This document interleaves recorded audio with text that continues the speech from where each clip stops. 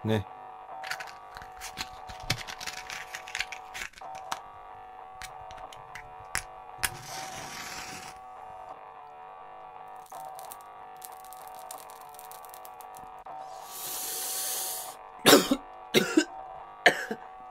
Ah, tai, mantap, Wak. Eh. Woi, woi, keras bunyinya, Wak. Keras, Wak.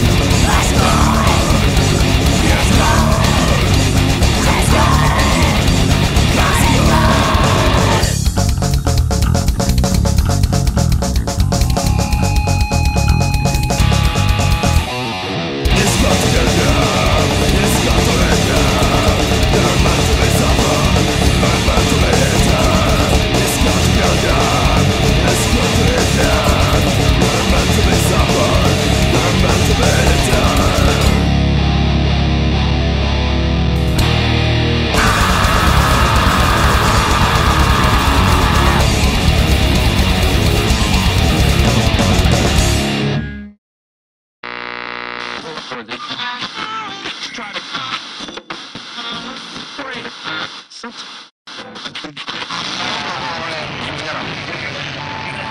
nyerang juga kita nggak tahu sekitar ada berapa mobil lah Buntut dari bentrokan ini, sembilan orang dari kedua kelompok dilarikan ke rumah sakit. Seluruhnya terluka akibat bacokan dan sabetan senjata tajam. Sementara selain mengamankan parang dan bambu runcing yang digunakan dalam bentrokan, polisi menginterogasi lima orang saksi untuk mengusut kepastian dari motif bentrokan ini.